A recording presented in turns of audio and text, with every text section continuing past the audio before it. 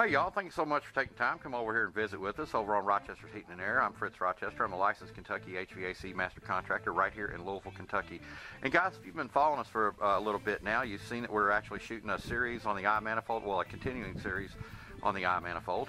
And basically what we're doing is we're showing some functionality. We're actually going to give some descriptions and uh, some some testing and actually uh, uh, some little tech tips, if you will, iManifold tech tips. And basically I've, I've shot a, a, few of these already and we actually shot one on actually how to install our hanging strap here, piece of cake.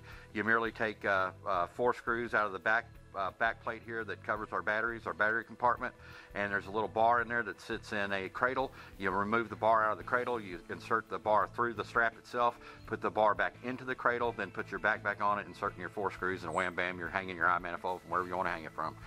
And guys, uh, we actually shot some video with our Cooper Atkins uh, uh, temperature probes here. Uh, we actually showed you actually how to hook them up. Uh, they're a piece of cake. Um, uh, and guys, I think you're going to really love them because you're going to be able to get them in the tightest spots. Unbelievable, uh, unimaginable. And uh, you're going to love them. I guarantee you are. I, I do. And uh, we actually shot some video too, little tech tip videos, uh, iManifold tech tip videos on, on the device that we're actually utilizing. You can use Apple, you, you, iPad, what, whatever you want to use. And uh, we're actually using the Nexus 7. And we actually showed you how to link the two devices together so they would function. Uh, we actually took you over and we showed you how to actually download the iManifold app itself from Imperial.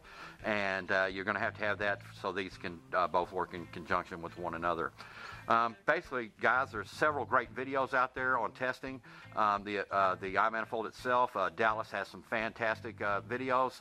Uh, Jim Bergmann's going to have some fantastic. He already does, but he's going to add to it. He's going to have a lot more uh, technical uh, videos. I think they're going to be fantastic. He's just got a way of explaining things that it really sinks in.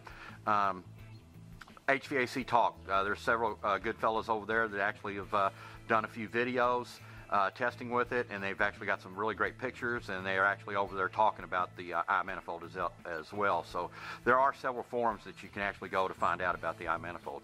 But uh, anyway, guys, uh, the tech tip today, the iManifold tech tip today, was I wanted to show y'all how I'm going to actually store my uh, uh, Cooper Atkins temperature probes um, for now. I'm not positive I'm going to leave it this way, but uh, I think this is the way I'll, I'll, I'll, do it for, for a while until I might even buy a case. I'm not positive, guys, but it actually does work great.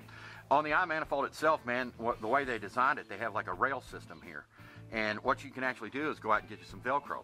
And when I was at the uh, Walmart, uh, it struck my eye. I seen some uh, red, white, and blue Velcro. And I said, I got to have that for, for my rail. And uh, basically, the reason I got it was because this, guys, is an American made product. This is employing Americans, and it's employing uh, several Americans, and I think they're doing one fantastic job, and and uh, I, I, think it's excellent, guys. And my hats off to you, and I, and I wish you all the best of luck, guys.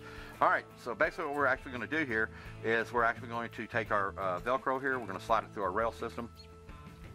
Piece of cake, guys. And once you get it installed like this, you can actually just leave it like this, you know, while, while you're working. But uh, we'll take our other one, slide it right through this rail, and uh, get it in here like so. We'll take our Cooper Atkins uh, uh, clamp temperature probe and set it right here like so. And we'll take our two other Cooper Atkins uh, clamps, our, our uh, probes, and we'll actually take our Velcro here. And it's simple to do, guys. Piece of cake, it only takes a second. But uh, anyway, guys, we'll take our Velcro here and we'll put it right through the hole. And I probably won't get this one super tight yet.